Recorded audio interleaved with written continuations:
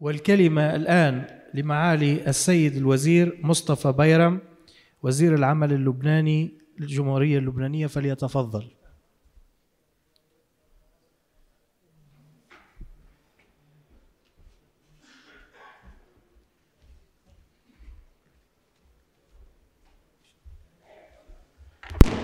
بسم الله الرحمن الرحيم. أصحاب السعادة والمعالي والسيادة والحضور جميعا صاحب المعالي مدير عام منظمة العمل العربية. الإخوة في جمهورية العراق الأشقاء برعاية سيادة ودولة رئيس مجلس الوزراء. وإن حضوره كان له الدلالة المهمة. وأيضا معالي الزميل الأستاذ أحمد الأسدي. السلام عليكم جميعا ورحمة الله وبركاته. إن مجرد الاجتماع مجرد الحفاظ على أن نلتقي هو أمر مهم للأمة العربية لشعوبنا. مجرد الاجتماع. فكيف إذا كانت هناك مخرجات مهمة جدا ومفيدة تنعكس على أرض الواقع وتلبي طموحات شعوبنا الذين يتطلعون إلى أي اجتماع على أن يكون مثمرا. وعندما نجتمع في العراق أيضا هناك دلالة مهمة جدا لما تشكله أرض العراق من حضارة ضاربة في التاريخ من بداية الحضارات الإنسانية والتجمع الحضري الإنساني أيضا لما للعراق من دور إقليمي وعربي. ولا ننسى أنه يقدم الشهداء الآن دعما لغزة العزة التي تتعرض لحرب الإبادة. وعندما نجتمع هنا لسنا منفصلين عن الواقع ولسنا بعيدين عن الأوجاع. عندما ينظر مواطن عربي لمسؤولين عرب لوزراء لقادة يجتمعون ولا يتحسسون الوجع يشعر بالانفصال عنهم يشعر بأنهم في ناحية والوجع الآخر في ناحية أخرى. اليوم نجتمع هنا وآلة القتل مستمرة الآن في غزة. هل أصبح الضحايا أرقام؟ هل أصبحنا نعد الأرقام في غزة؟ ولا ننسى أيضا الاعتداءات المستمرة على جنوب لبنان. تهجر في الجنوب اللبناني أكثر من مئة ألف مواطن من بيوتهم. دمرت آلاف الوحدات السكنية. ثلاثة آلاف منشأة للعمال دمرت في جنوب لبنان. صحيح أننا نرد نرد الصاع صاعين وهجرناهم من الشمال الفلسطيني. إنها المرة الأولى منذ 75 عاما يتركون مستوطناتهم هربا من صواريخ المقاومة في لبنان. هذا التوازن وهذا الردع يجعلك محترم في العالم. لأنك عندما تكون ضعيفا أنت إذا تعرضت لشيء لقليل من الشفقة. لكنهم في داخلهم لا يحترمون الضعفاء. لذلك آلينا على أنفسنا انه نحن ندافع عن أنفسنا ندافع عن حقنا ندافع عن وجودنا. نحن كعرب كلنا على مين اعتدينا؟ هل اعتدينا على أحد؟ هل احتلينا دولة أحد؟ هل مارسنا تهجيرا عرقيا وتطهيرا عرقيا اتجاه أحد؟ ابدا. حتى اليهود كانوا آمنين في بلادنا. نحن لسنا بمعركة ضد اليهود. نحن بمعركة ضد صهيونية مجرمة قاتلة. وقحة. ليش وقحة؟ كنا نسمع عن الإبادات سابقا. نسمع عنها بعد حصولها. لكن للمرة الأولى في التاريخ الإنساني نشاهد إبادات بالبث المباشر. تعرف شو يعني بالبث المباشر؟ يعني لا يأبهون لكل ضمائر العالم. لا يأبهون لكل الحقوق في العالم. لا يأبهون لكل قرارات ما سمي بالشرعية الدولية التي لم تطبق إلا علينا فقط بينما عندما تصل إليهم تسقط كل القرارات الدولية. هذا الأمر شو أوصل؟ ما الذي أوصل؟ شو الرسالة اللي أوصلها؟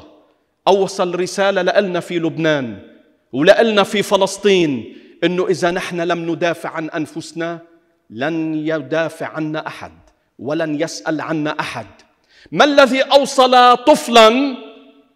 طفلا عمره ثمان سنين شاهدته بأم العين. جائع بشهر رمضان ونحن جالسين على موائدنا. جائع. ما آمن بي من بات شبعان وجاره جائع. هذا الحبيب المصطفى محمد. ما آمن بي من بات شبعان وجاره جائع. عم نقعد على موائدنا طفل فلسطيني استشهدوا كل أهله. راح شاف عم بيوزعوا شوربة. حساء.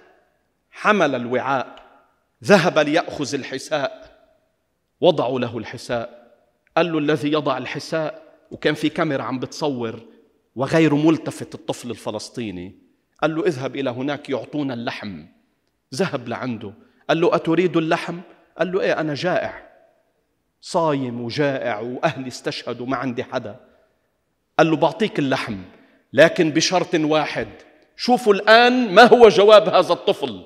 شوفوا من أين سنصنع النصر والإعتزاز. شوفوا ليش نحن ما بنسقط.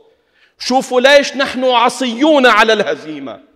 مهما كان القتل ومهما كان الوجع شو بيقول له؟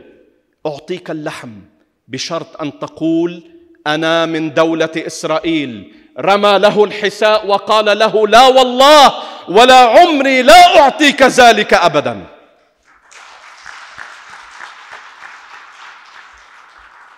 أيها الأحبة أنا لا أتكلم بمسألة حماسة منفصلة عن الواقع. لا أنا جاي منذ أن تركت بيتي وأصوات القصف الإسرائيلي والطيران الإسرائيلي لا يغادر سماءنا.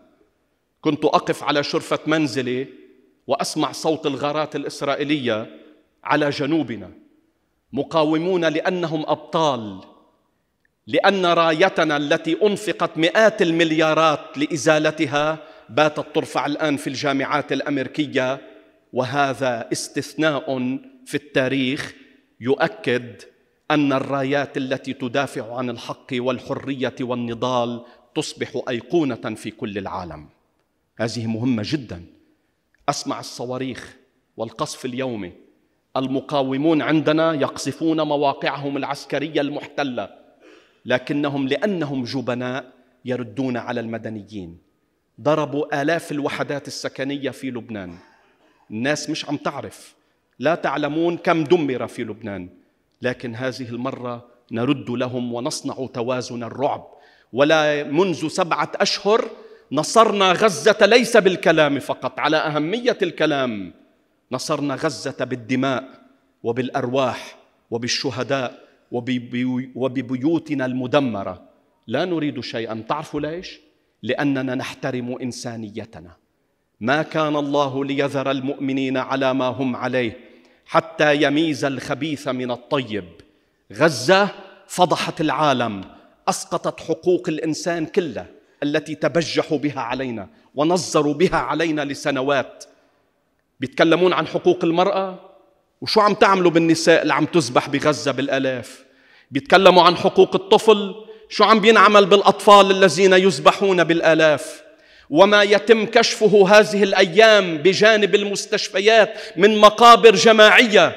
وما في صوت بالعالم الأمر عادي الأمر يمر مرور الكرام. لا أيها الأحبة بدنا نبرئ ذمتنا تجاه إنساننا تجاه أنفسنا تجاه كرامتنا تجاه ضمائرنا. لا يمكن أن نسكت.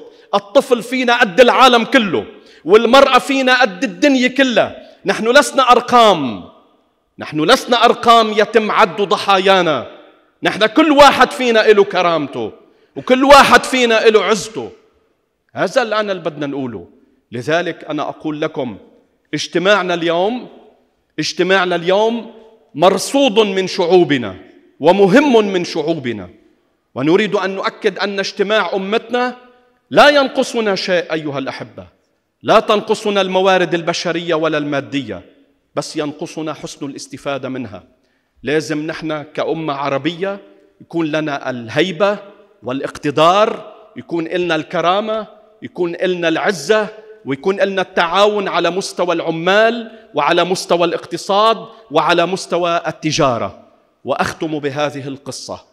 قصة معبرة تدل على إرادة الحياة وتدل على النصر الدائم. أحد الشباب تعرض للاعتداء الإسرائيلي. قطعت يداه قطعت رجلاه.